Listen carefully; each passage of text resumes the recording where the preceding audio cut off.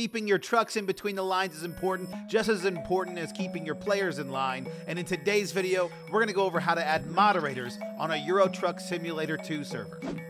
First, we're going to log into our BisectHosting Games panel and choose our Euro Truck Simulator 2 server. Next, we're going to choose the Stop button to stop the server.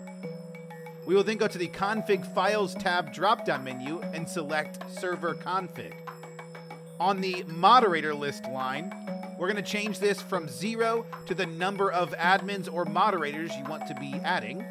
Then we're going to type the following moderator underscore list bracket start zero bracket end colon space and then the Steam ID 64.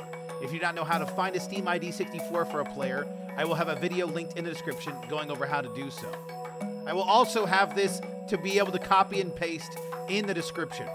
If you want to add another moderator, you can just put it on the next line. Just make sure to choose the number in the bracket, go up by one. So it starts at zero, then one, two, and so on. Once you've added all the moderators you'd like, you can choose the Save Content button.